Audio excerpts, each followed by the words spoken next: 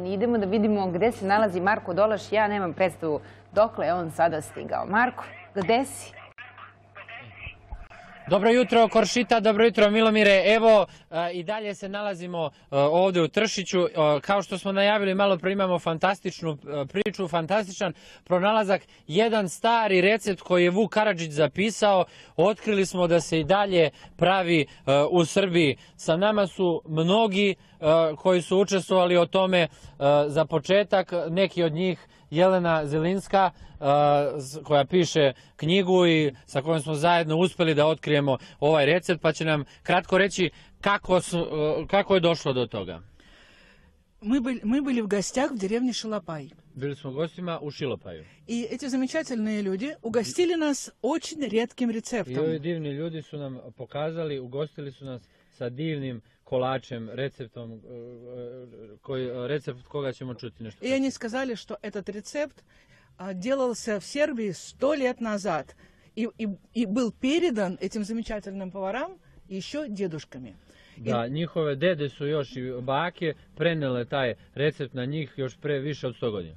И надо же так случиться, что на следующий день нас пригласили вот сюда, в Тершет, чтобы познакомить нас тоже со старинными обедами, а, обедами, кото- которыми еще угощали самого Вука Караджича. Da, Došli su ovaj, onda ovde da pogledaju a, ovaj, recepte Vuka Karadžića, sa čime su gostili Vuka Karadžića i sa čime su se gostili ljudi u to vreme.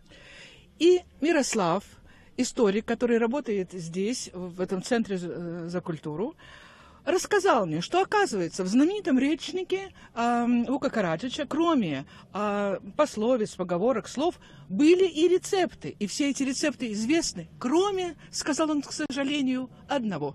Da, ovaj, Miroslav je uh, rekao da skratimo ovo da bi imali vremena svi da kažemo, a to je uh, imamo mnogo recepata ovde koje je zapisao Vuk Karadžić i svi se oni prave osim jednog, a to je Miroslave ovaj. Tako je. Tako je. E, u Vukom srpskom rječniku ovo jelo je označeno pod odrednicom pura. U stvari pura ima dva značenja. Prvo značenje je kačamak ili maljuga kao sinonimi, a drugo značenje u rječniku piše u loznici takovo jelo sa vodom razmućeno sa pekmesom. U to vreme se ovde kod nas to jelo pravilo, ali danas ne. Ali otkrili smo da u drugim delovima Srbije još uvek postoji. Evo- Zahvaljujući Jeleni. Zahvaljujući, da. Ovaj, sad, samo kratko idemo na recept, pa onda idemo dalje. Ovo je prvo srpsko jelo koje se pravi od šljiva. E, Šljive se skuvaju kao za Pekmez? džem, kao za pekmez i na pola kuvanja otprilike doda se projino brašno i kuva se još pola sata posle toga i doda se eventualno malo oraha Orah. ili šta ko voli može da ostane i bez, a može i sa orasom. I suši se. Suši se, bitno je da bude puno sunca, to je važno za ovaj kolač. To je stari srpski kolač koji se jeo u dugim zimskim danima. Odlično. Predsjedniče Šilopajske panorame, kod vas smo otkrili ovaj kolač. Pa evo, udruženje Šilopajska panorama uh, je udruženje koje se bavi revitalizacijom sela Šilopa i Davidovica, Cerava i Kreva reka. To je jedno uh, područje u opštini Gornji Milanovac i u okviru te manifestacije mi ovaj, uvek organizujemo izložbu tradicionalnih jela Šilopajskog kraja. Između ostalih našao se i ovaj kolač od šljiva. Videli ste da je to zaista uh, možda jedinstveno u Srbiji gde se on pravi. Hvala vam mnogo. Mnogo su i ove domaćice koje su iza nas, koje to veoma vešto pripremaju. A, predsjednica, odnosno direktorka a, Centra za kulturu Vuk Karadžić, Snežana Nešković-Simić. Šta ovo znači za vas? Pa, meni Hoće li biti možda, oprostite, neke šire upotrebe ovog recepta?